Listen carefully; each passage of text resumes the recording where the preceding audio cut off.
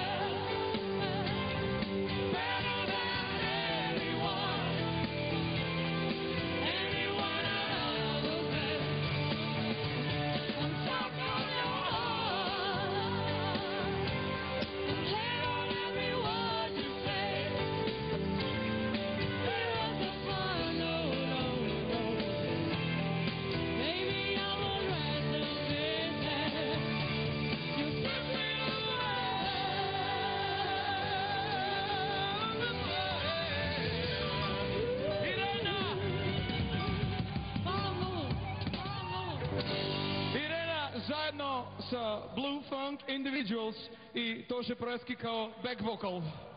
Kao prateći vokal.